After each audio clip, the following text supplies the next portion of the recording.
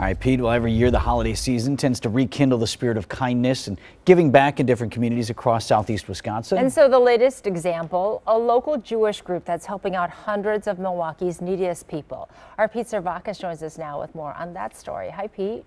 Well, Susan, events for the last month, volunteers collected thousands of donated items for area nonprofits. They say it was all worth it just to see the reactions they got when they dropped everything off.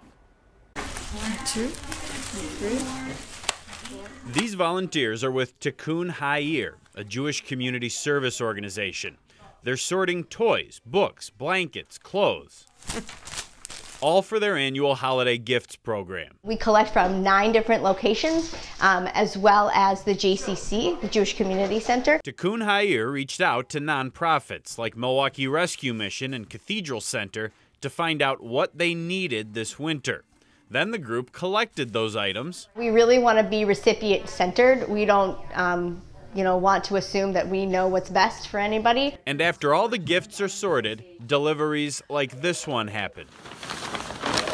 Here at Meta House, these gifts mean the world to our clients and their kids. The donated gifts go to women being treated for substance abuse and their young children. The women who are receiving treatment here are often in one of the worst places of their lives. And so while it might, need, might not seem like a big thing, to be able to give their child a gift it really means the world to them.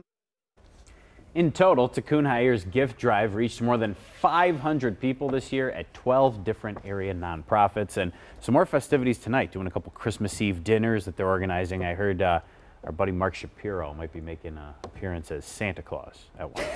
Oh. one oh, that fits, absolutely. Right, thanks. thanks, Pete.